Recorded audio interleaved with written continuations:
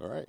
Thanks for clicking my video. Fix It Tony here. We have our LS460 and we're going to try something a little bit different today. We're actually doing an oil change and you can click on the video here. We're going to have that available to look at the results from the Valvoline uh, Restore and Protect. But today we're also going to use CRC's intake valve turbo cleaner and turbo cleaner. Basically, what happens on these direct injection engines is usually you have a port injector that sprays fuel onto your valve and keeps it clean. These particular engines have dual injection on the Lexus, where you have the port, but you also have the direct injection. So you do still get buildup on the valves. And I'll show you right now, we're gonna do a zero to 60 time to show the degradation and performance of this car. This car was doing six second zero to 60s, and now, as you can see, a little bit more than that.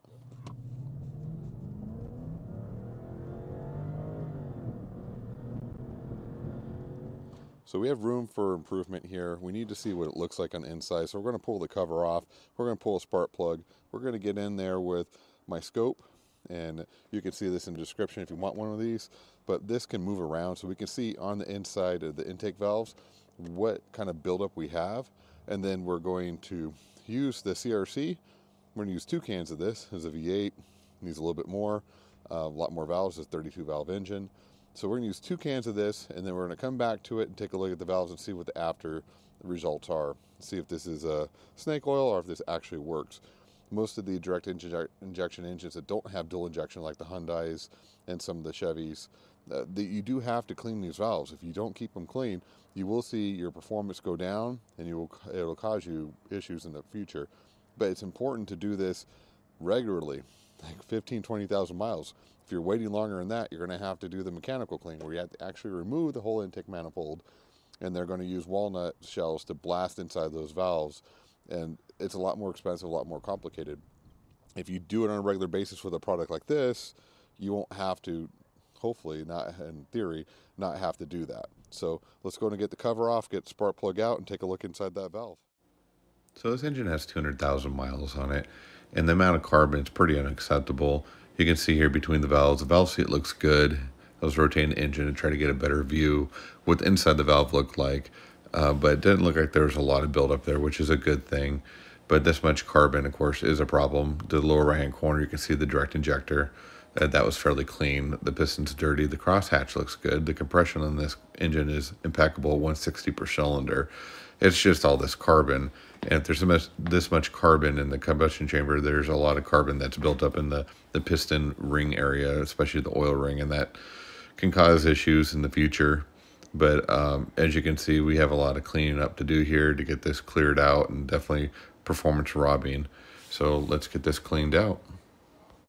So as you can see, um, you know, I rotated the engine a couple of times. I really couldn't see the inside of the intake valves.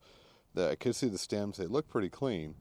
So our problem necessarily is not with uh, the intake. The intake is actually, the ports are actually keeping the inside of the valves pretty clean. You see a ton of carbon buildup. And here's the telltale sign that there's an issue with oil consumption, and that's the ashiness on the spark plug.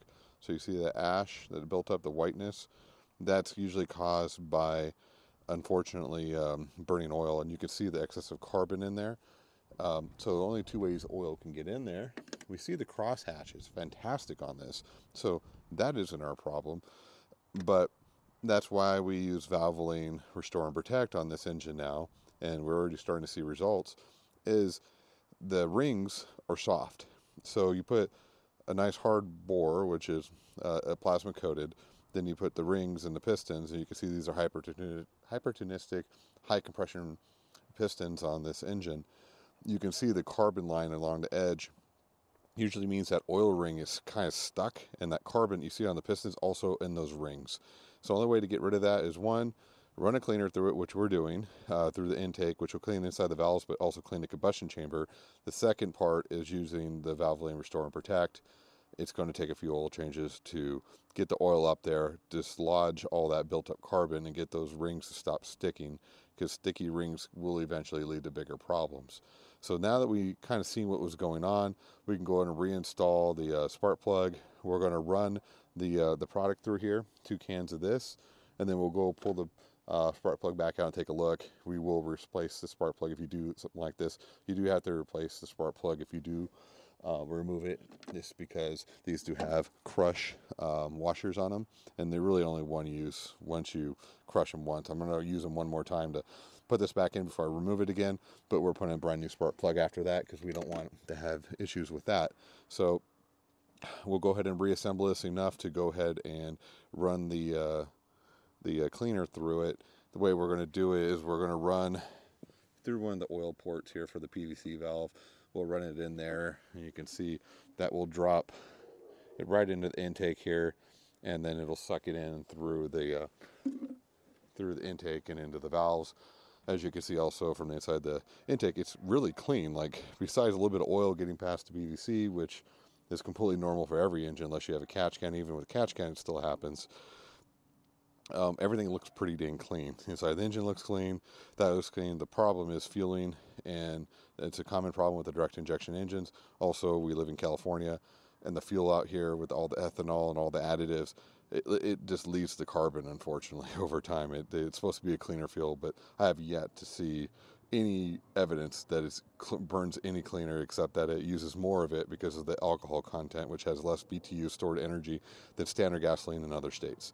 So, not to get in a theological conversation about that, but um, let's go ahead and put this back together and let's run the uh, run the product through and see what we got. All right, so we temporarily put her back together so we can go ahead and run this product through.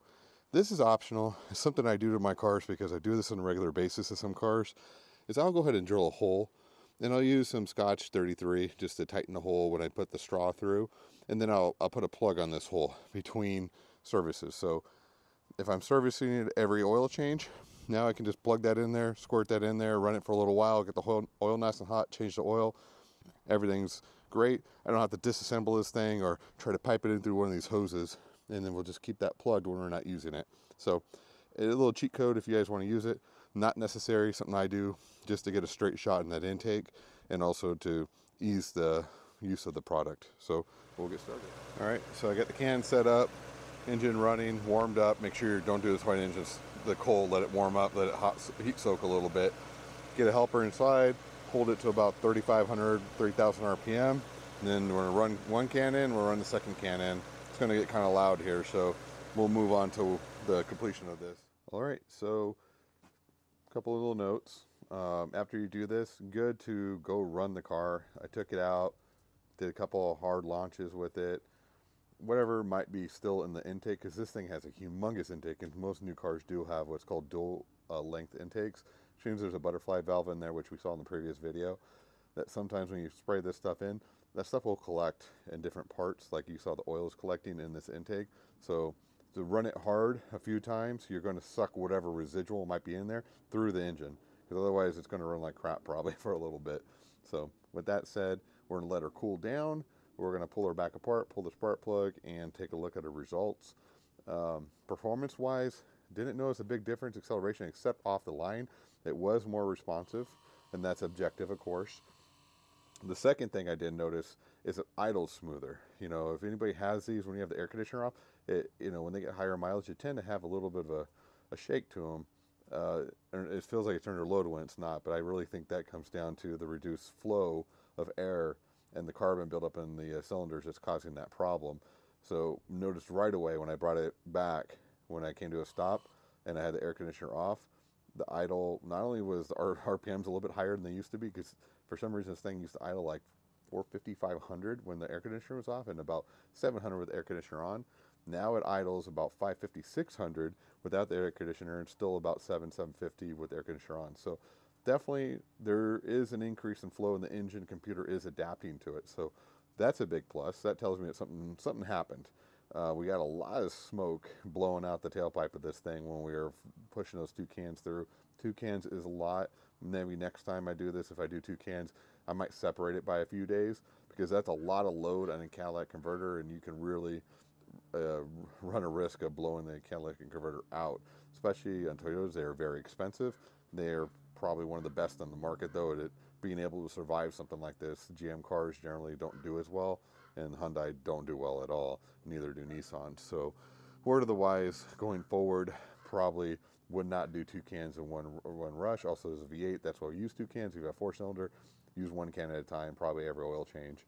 As preventive maintenance, if you're using it to clean it out, I would probably do it twice uh, between oil changes. So during oil change and probably between an oil change, run it through. You can do what I did and I put a little cap right there so you can just run it through without having to disassemble everything. And you know, right now it's just a piece of tape, but I'm gonna have a plug for that, and then we'll use the plug when we're not, you know, when we don't need a spray in there. That way it's easy to access. We got a direct shot into the intake, and we could run it through it and keep this engine clean. It has 200,000 miles on it. We want to get 500,000 out of it, and keeping it clean is half the battle. So we'll let her cool down. We'll come back to it, pull the plug, and see where we're at. Wow, look at these results. Um, you can almost see the metal now through the carbon. At the top of the combustion chamber is pretty much all cleared out. There's still a little bit left. The direct injector has a clean shot now. It, this did a great job compared to what we looked like before. The crosshatch looks good. The area at the top where it was really built up, it really, really came clean. And you can see that that valve is almost clean itself too. Well, I could tell you, you can see the before and after. Wow, what a difference! Um, this stuff does work. Uh, CRC it it cleaned it out pretty dang good. I mean, it has some more work, but I think again by drilling that hole, we'll do it every oil change. Over time, the rest of that crud, we're going to get it out of there. Two cans really did a nice job. Uh, a lot of the carbon's gone, especially at the top of the piston crown of where the head is. You can see that was pretty much all gone. Um, have to recommend it. it. It does work, but again, preventive maintenance, it would work better if somebody had been doing that from the beginning with this car, or even with any direct injection engine. You get a new car, buy this stuff, use it regularly. It does work. If you wait till it gets out of control, you're going to have to have the almond blasting done probably first, and then use this as a as a way to keep it clean. It's about twenty dollars a can. The almond blasting can range from eight hundred to fifteen hundred dollars to have done. So big difference in price, and this will keep it clean between oil changes instead of waiting until it gets absolutely terrible and having the decrease in performance. Um, mostly idle quality because again I did do the performance on this and I really didn't notice a big difference in performance throttle off the off the line was definitely better idle is definitely better performance not so much but you never know we'll we'll run this a few times. Maybe it changes as the computer starts adapting to the fact that the you know that's not filthy dirty. Also, we're going to keep on running fuel injector cleaner through here to really make sure this system's cleaned out and we're you know not to a point where it has so much carbon building up.